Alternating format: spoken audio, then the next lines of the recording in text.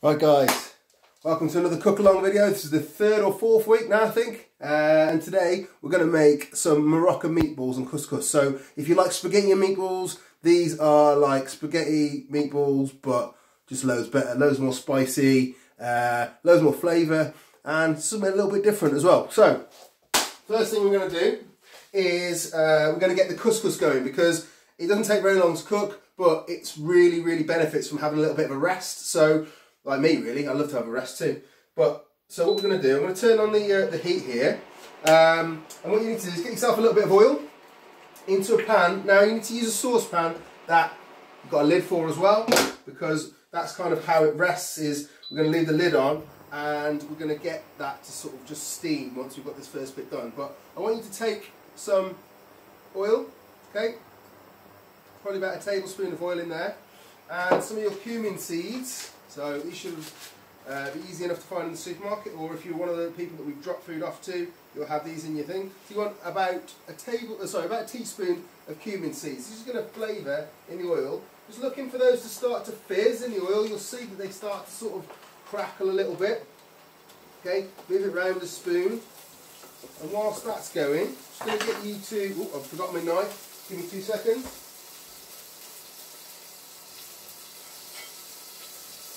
Okay, so with uh, the knife, I just want you to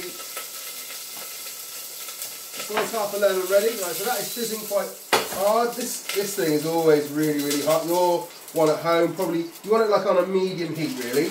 Okay, so once those seeds start to uh, to cook and brown like they are here, you're going to take your couscous. Okay, so got about 200 grams of couscous there. Going to go in. Okay, and then what I want you to do is to work all those seeds and oil into your couscous. Okay?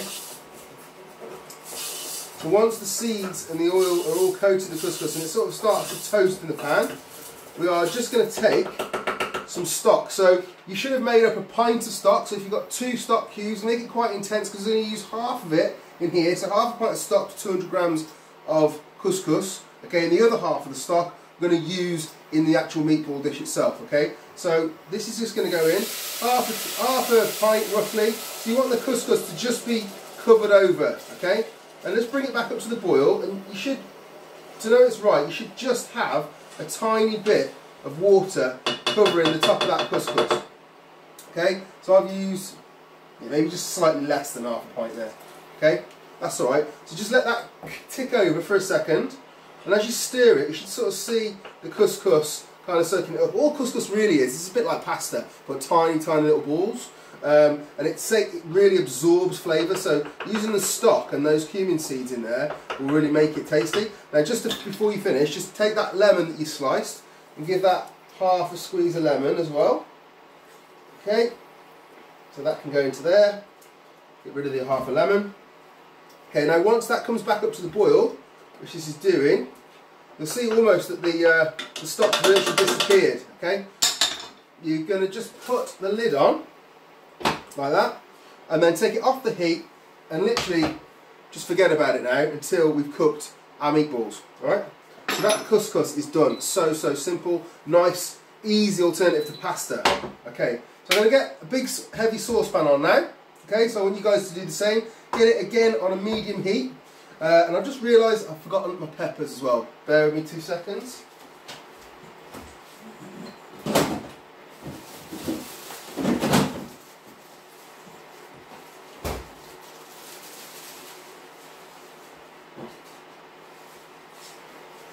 And I forgot my salt, so disorganised today. Right, okay, so you should have a pepper. I'm going to use a green pepper today. Okay, so well, actually, I'm going to use two because my peppers are really small. If you've got a big one, that's fine, or two small ones. Okay, so I'm just going to take the th two thumbs in the middle of the pepper, pop my thumb in, rip it apart, yeah? So you literally just take that seed bit out entirely, okay? Do the same again, so fingers in, pop it and rip it, okay? And you can just rip those seeds out the middle, really easy. And then, I'm going to get a bit of oil in the pan,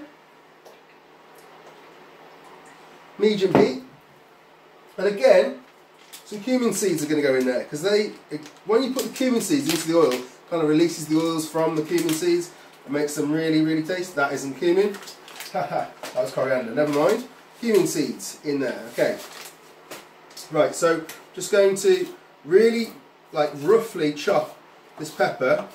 Actually want some chunks in this uh, soup. Well, this uh, meatball kind of, it's going to be like a tomato sauce, spicy tomato sauce. It's quite nice to have big chunks of pepper in there. So I'm just cutting it into long strips like that. Okay, not cutting it too finely at all. They can go straight into the pan. And turn this up a little bit because it's not even hot. I'm going to turn up. Yep. So that's going to heat up. And then I'm going to take the two onions as well. And again, I'm going to chop them quite roughly. So I'm going to take the top off and the bottom off, like that. Okay. Slice it in half. Take the skin off.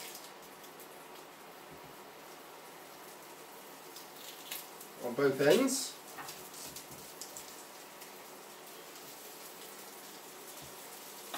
Okay, and then we're just going to go back into sort of five lengthways slices. So we get, again, some nice big chunks of onion. Right, they're going to go around. You should really use a spoon, not your hands. Bad example, Adam. I'm terrible. At this stage, I would add a little bit of salt as well. The salt will help draw the moisture out of those. What we're trying to do is intensify the flavours of these uh, peppers and onions.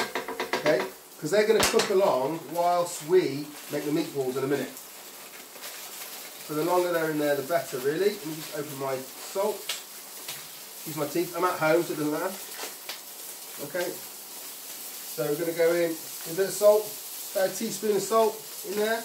That will just help to draw that moisture out. I'm going to go for that second onion now. Okay, so chop the onion. It always gets really smoky doing this in here, but I couldn't film in the kitchen because you guys wouldn't be able to see anything. Last week's I did film it at the Grange. It's a bit of an easier angle, but my kitchen doesn't really lend itself to that, so I have to work in here. But never mind, it's all good. Alright, so into five again, or four, big chunks. Okay, gonna it's smoking a bit, just add a bit more oil, help it to fry, not to sort of burn. Okay, so that's cooking along nicely now. Okay, so whilst we cook that lot down, just going to start making the meatballs. So, I've got 500 grams of mince in there, okay? Nice big pinch of salt.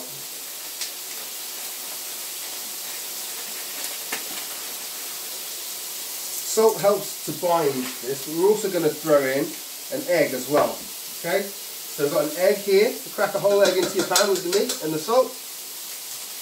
Okay, then we're going to go in with some, this is smoked paprika. Now, this gives loads of awesome flavour. Really, really tasty. So put, mix that into there. Okay, you need some garlic to go in there too. So I'm just going to take two cloves of garlic. To move that to one side so you can see what I'm doing. Two cloves of garlic. I'm going to crush those. One, two. I probably should have got a bigger knife, but there we go. So I'm going to take the skins off those. Okay, and then just slice them up. Real slow, real small. You don't want to have big chunks of garlic in your meatballs. So take a little bit of time over this. Keep remembering to stir your pan as you go. Sweating those onions down. Looking good.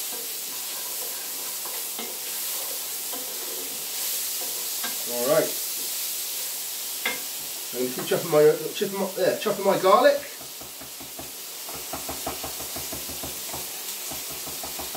the seesaw method, you should probably use a bigger knife than I'm using, but there we go.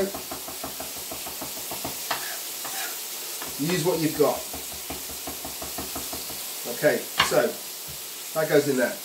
Now we're going to go in with some black pepper, about a teaspoon again, black pepper. Okay, a little bit of coriander too, which is what I put in there originally. Gonna, these flavours are all going to run through this whole sort, uh, whole kind of uh, dish. So we will also be putting some of these these spices into here, but not just yet because they'll burn, and I don't want to add the spices to the pan too soon. Okay, so I'm going to use, in fact, I'm going to use this spoon to mix this in. Okay, so because the egg will have made that quite loose. Okay, so what we're going to do then, once you've kind of worked some of those spices and the salt and everything together, is we're going to add in 200 grams of breadcrumbs. Okay, so that's about right. So, and then I'm going to get my hands in there and work these meatballs. So you should basically squeeze it all together to make sure that there is no lines. You know how like it looks like kind of mince, kind of looks like um, worms or something, yeah? Well, you want to make sure that you work all of that out of it, okay? So that is about right, okay? Cool. So you should have something that looks a little bit like that. So now, all we need to do, excuse me, I'm going to close the door in this house so I'm smoking it out. One second.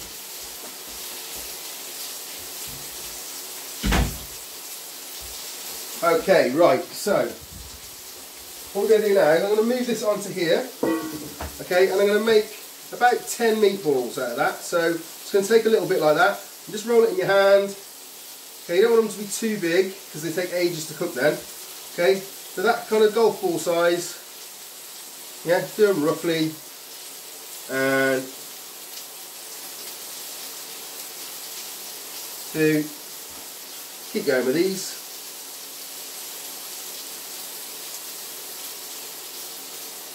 Three. So stir this around a bit more. These are starting to caramelise now, which is great. What we want. Okay, I'm going to actually give, give that a little bit of stock, just to loosen off the bottom. That's going to help them to start to sort of steam. It's also going to intensify the flavour of that stock later on. So we start working that in there, as we make these meatballs, letting the stock evaporate, intensify the flavour in that pan. So that's three meatballs. Keep going. So, four meatballs. I said 10, didn't I? I'm guessing. Five.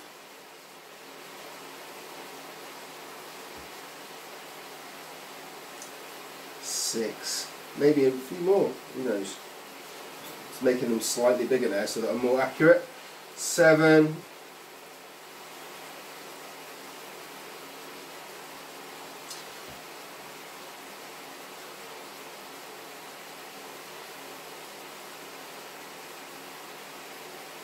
Eight,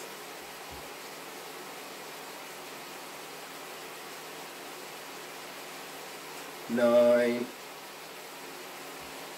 and ten. Boom. Done this once or twice before, as you can probably tell. So, 10 meatballs done. Right, with this now, I kind of use that stock to lift all of the kind of there's a lot of natural sugars in the um, peppers and in the onions and it starts to become sticky and caramelised. So using a bit of stock just loosens the pan because what we're going to do now is you just using the same bowl that the meatballs were in, just going to scrape that across into there. Okay, we're going to use those again shortly, but for now, back onto the pan, back onto the heat, sorry. Okay, and we're going to go in with some more oil. Okay, about tablespoon of oil in there. We're just going to fry off these meatballs. Just kind of cook the outside. Now they don't need to be cooked all the way through because we're going to then start building the sauce around them. But what we do need to do is what we call seal the outsides. So it keeps the moisture in and it'll stop them from falling apart as well. So we're just going to fry those in there for a moment or two. I'm going to move my thing. I'm just going to wash my hands, because, and so should you now, because we're touching raw meat, okay? And I'm not going to touch it again, I'm going to use like a spoon uh, to move these around in here. So I'm just going to wash them very, very quickly, and I'll be back.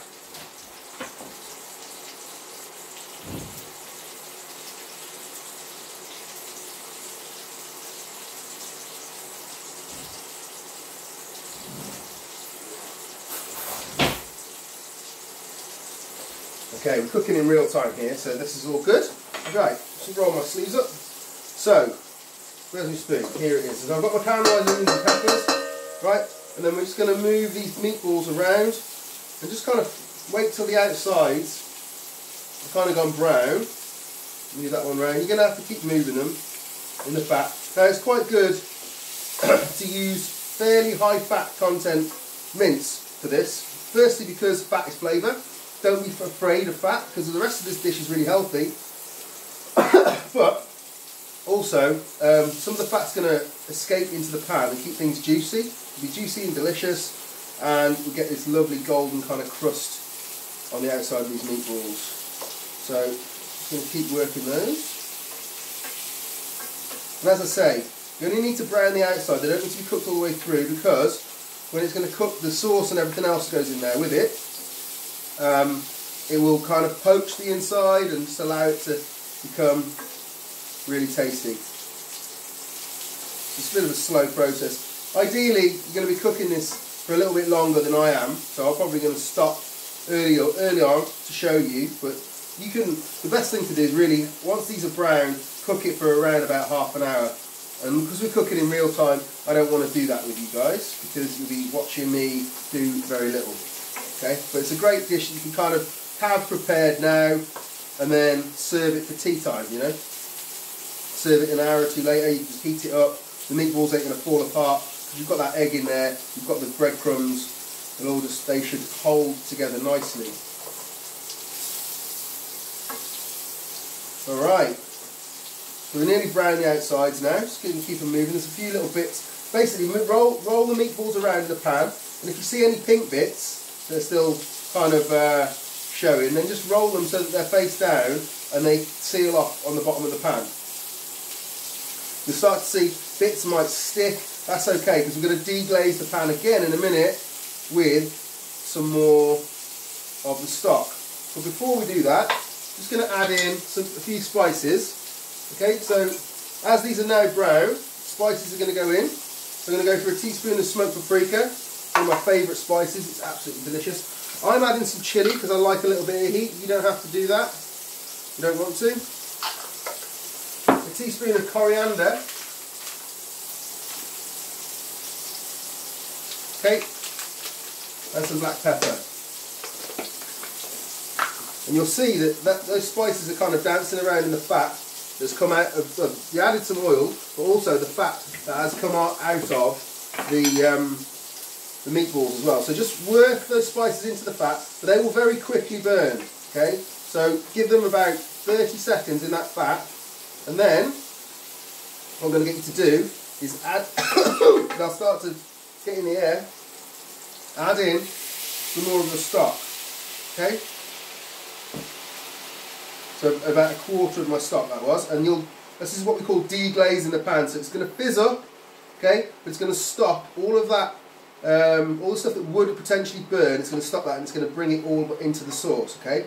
So that now is cooking along nicely and it's giving that time to, again, to reduce the amount of uh, stock in there, which intensifies the flavour because the, the water goes, the flavour remains.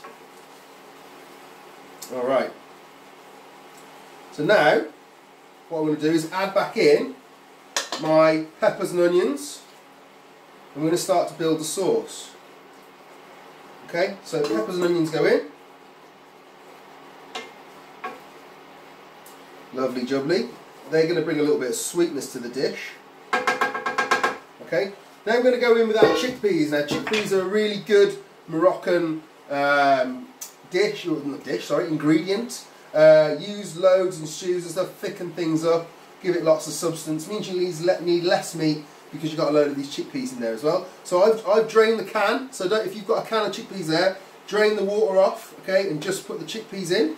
The chickpeas are going to go in there for me. Alright, keep, keep that going. Looks good. Looks really good. Okay, and then finally, I'm going to add in some chopped tomatoes. And also, I'm going to take the other half of this lemon, I'm just going to slice a few pieces of the pith off. Now, this isn't to eat, you've got to take this out at the end, but the flavour that will come off that, just put four in, so they're easy enough to find, they're big chunks of lemon, lemon skin, but put those in, mix them through, and the heat will bring all the goodness of them out, okay, and you'll at the end, you'll end up with like a sort of lemony undertone to the, the stew. Okay, so it's going to be really good. Just going to get that back up to the boil now. We're probably going to need the last bit of that stock in there, I think. So just pour that in, and then I'm going to turn my heat right up until until we get this bubbling. And then once you've got the heat, because I've put a lot of cold stuff in there, then right. So what we've got to do is get that heat back in the pan, and then once the heat's in, you can reduce the heat uh, back down to sort of medium again. Right, so let's just get that nice and hot. Cool, right. Whilst we're waiting, excuse me, it's a little bit uh, spicy in the air in here. I'm just going to grab the couscous. So that couscous has been sat there the whole time. You'll feel when you take the lid off, it's still really hot, okay? And a lot of the sauce in this stew will soak up. Well, the couscous will soak it up, right? I'm going to come in close so you can see. So you'll see that it's like, looks solid, yeah, in the pan. But what you need to do is get a fork, okay, and just fluff it. Fluff it, fluff it, fluff it. And it becomes a lovely grain, which will be awesome to lay down on your plate and then the meatballs to suck it all up, okay, soak it all up. So it's a bit like rice or something, so you can see that. Okay, lovely loose grains, and you've got all the flavour of that, um, well, the cumin seeds, but also the uh, the stock that you used. Okay, we'll all be soaked up in that already. All right. So just whoa, this is going hard now. So I'm going to turn it down. This is what I meant by get the heat back into the pan and then reduce it. That's probably going to need another couple of minutes, and I might as well keep you here and talk about next week. So next week this is quite healthy, I suppose. But, you know, we've got to have a cheat day every now and then, haven't we? So next week, I'm going to be showing you how to make your own Big Mac from scratch. Uh, so it'll be much better quality stuff in it than some McDonald's. And I imagine it'll be just as delicious. You'll probably say it's not. I think it is. But give it a go anyway. So next, this time next week, tune in. You know, if, if any of your friends want to sort of uh, do a bit of a cook along with you, then you know by all means make sure that they get involved like subscribe comment. We'd love to see anything that you've made you know drop us a message at young shrewsbury. We'd love to see your creations. Right as i say that probably needs a little bit longer but i'm going to serve it up now just to show you how you want to serve it. So i'm going to go in with some couscous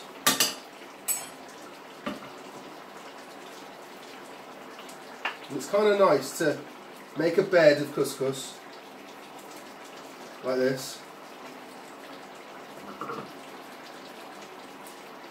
There we go. And then, so that's going to soak up all of meatball. So couscous on.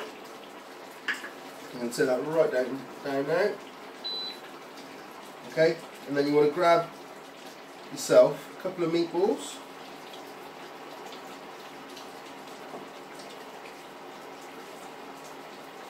Maybe three, feeling greedy like I am today. So go for three meatballs into the pan.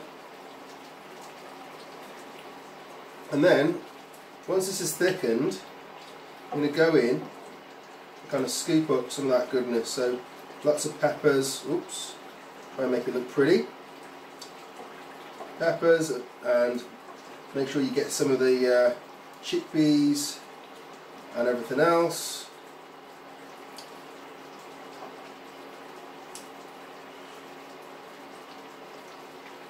And there we have it.